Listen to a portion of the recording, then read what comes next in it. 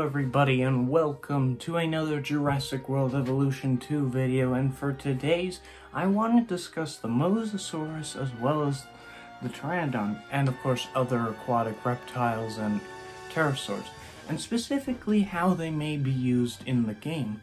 Because if we look back at the first evolution game many people's critiques on the Pteranodon being included were that it was basically a fishbowl dinosaur that once it broke out, it did nothing except literally it did. It flew up into the sky until it disappeared, doing really nothing for your park except um, being a new animal to have.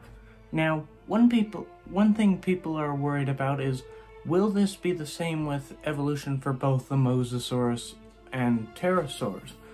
I don't think so because of a few things.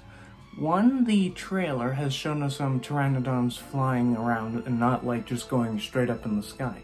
Yes, I know that's not actual in-game footage, but still, it could be their way of telling us, hey, unlike with the first evolution game, pteranodons and other pterosaurs will be able to fly around your islands if they break out, and then you can try and retrieve them, which that would be so cool and so difficult at the same time, having to pilot the helicopter and um, dart dinosaurs as they're flying, well, pterosaurs as they're flying around.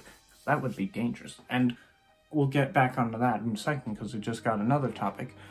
And for the mosasaurs, if it were to break out of its enclosure, could it swim out into more open areas of um, water? Like, say, if you have a beach for guests, could they be in danger of mosasaurus attacks? Which, yeesh, when I hate to break news, you wouldn't survive that long.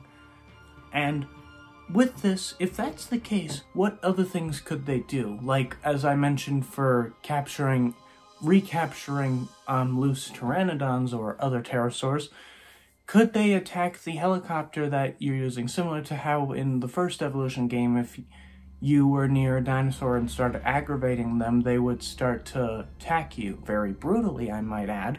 Will this be the same with pteranodons and stuff? Maybe. And as for the Mosasaurus, what if it needs recapturing? How are you going to do that? Are you going to use a submarine like the one in Fallen Kingdom?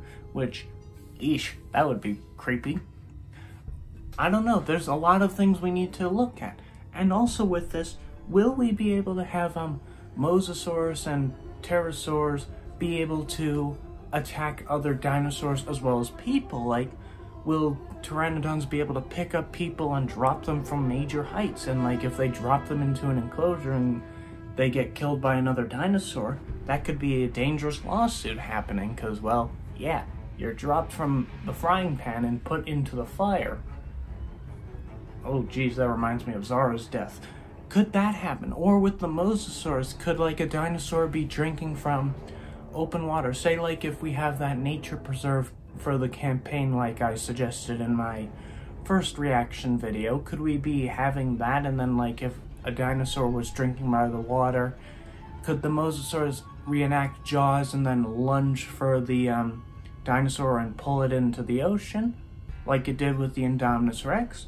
Maybe. I, I really think this should be discussed because it'd be amazing to see um, these things happen. Like, if pteranodons broke out, you'd have to like literally shut down the park, get into a helicopter, and try and tranquilize every single one, which, oh my god, that would be the hardest mission. You think compies are bad people. They're not like flying around and everything. They're just running and screaming. I had to do it, guys. I had to do that Ian Malcolm code. It was right there for the taking. But what do you guys think? Do you think that with the Mosasaurus and other aquatic reptiles as well as pterosaurs, do you think that they will be able to attack people and dinosaurs, or do you think that they're just to be like the Pteranodon was in the first evolution game?